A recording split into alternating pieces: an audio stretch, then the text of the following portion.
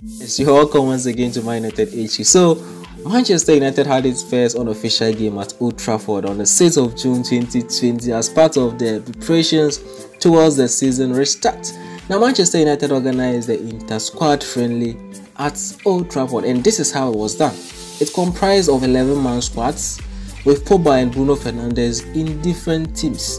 Pogba's team comprised of Romero in goal, Diogo Dalot, Maguire, Brandon Williams, Matic, Pogba himself, Lingard, Greenwood, Rashford, and then Odion Ighalo as starting 11. And Bruno FC was made up of players like De Gea, yes, he was in goal, Wan Bissaka, Tuanzebe, Fred McTominay, Bruno himself, and then Juan Mata, Pereira, James, and then Anthony Martial. So the team, Team Pogba wore the home jersey, whilst Team Bruno put on the away jersey. The match ended in 4-4 apiece with Bruno FC or Team Bruno scoring 4 whilst Bruno um, Pogba FC or Team um, Pogba scoring 4.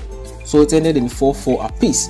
Now team, Pogba scored one goal and gave two assists whilst Rashford bagged a hat-trick. So Rashford actually bagged his first hat-trick which is unofficial, yes. He bagged his first hat-trick, unofficial hat-trick. Matic and Timothy Fosu Mensah, who came from the bench, gave one assist each in this game. So that was it for the Pogba's team. Bruno FC had, however, also had scorers from Bruno Fernandes himself, who destroyed the net with two goals and again providing two assists, and then Martial and Scott McTominay scoring one goal each, with the former grabbing one assist to his name as well. Juan Mata also provided an assist from the Bruno team. The match ended 4-4 as I've, I've, I've, mentioned earlier. So there were some um, positive positivities from this game as our key players are pulling up the strings on the field as part of warming up into the season. So this brings some delightful moment to Manchester United fans across the world who are impatiently yearning for Manchester United to resume their usual games. Everything is currently set at Old Trafford now.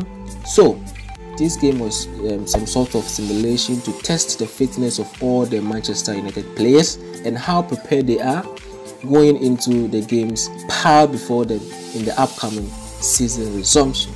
So United plays its first home game against Sheffield United at Old Trafford on the 24th of June and as the road host there will be no football fans present to cheer up the players. Yes.